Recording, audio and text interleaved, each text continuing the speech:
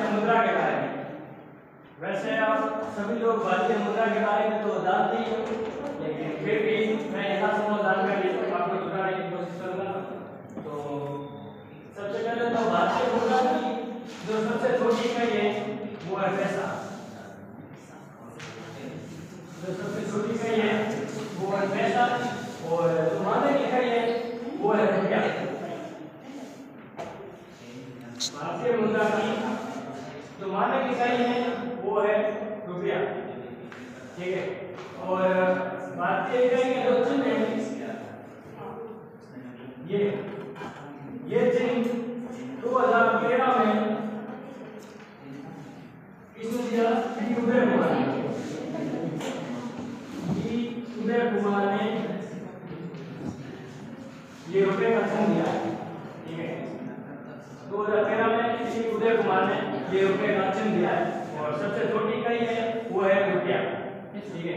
और एक रुपये में सौ पैसे होते हैं। एक रुपये में सौ पैसे होते हैं।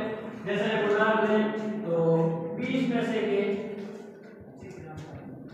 पाँच सिक्के लेकर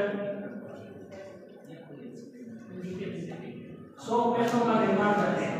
अर्थात एक रुपये का निर्माण करते हैं। ठीक है? अब जो भारतीय मुद्रा है और जो भारतीय नोट है उस नोट के ऊपर सत्रह भाषाएँ लिखी हुई है।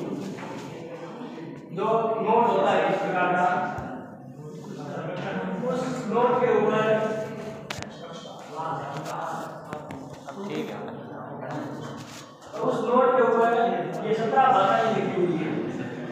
नोट में इस प्रकार की एक नदी और उस नदी के अंदर छोटी छोटी छोटी पंद्रह भाषाएँ लिखी हुई अब आप सोच रहे होंगे कि यहाँ पर तो बताया सर सत्रह और इस जो ये आकृति बनी एक साल के अंदर सर बता रहे पंद्रह तो ऐसा तो मैं आपको एक नोट के आधार पर एक प्रैक्टिकल बता दूँ ताकि आपको अच्छे से समझ आ जाए हंसो मत जी सर आपको अच्छे से समझाने के लिए कुछ भी करना पड़ सकता है जैसे ये